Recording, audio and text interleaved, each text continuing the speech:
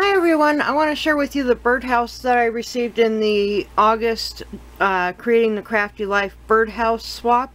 Uh, this is the birdhouse that I received from uh, Loretta Lynn and she just sent me a little note saying I hope you'll like what I created for you. If you don't, let me know and I will make another and send it. XO Loretta. Um, well, she doesn't have to send another because I really like it. so, um, it's going to be kind of difficult to show you. She kind of did it in a mixed media style. And this is what the front looks like.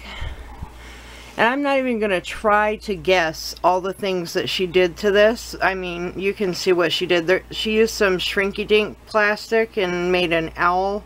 And I noticed she made a lot of little uh, embellishments using shrinky-dink, which is pretty cool. I used to play with that stuff when I was a kid. and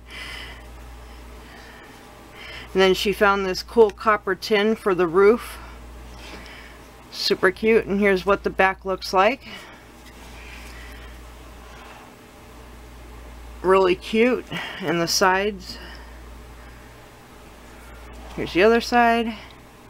She really did a great job on this. And she made it to where it lights up. So let me see if this is going to reach. It's not going to.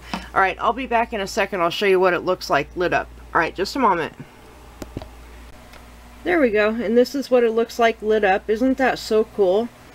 I really like it a lot. Um, thank you, Loretta, so much for making this for me. It's, it's really cute.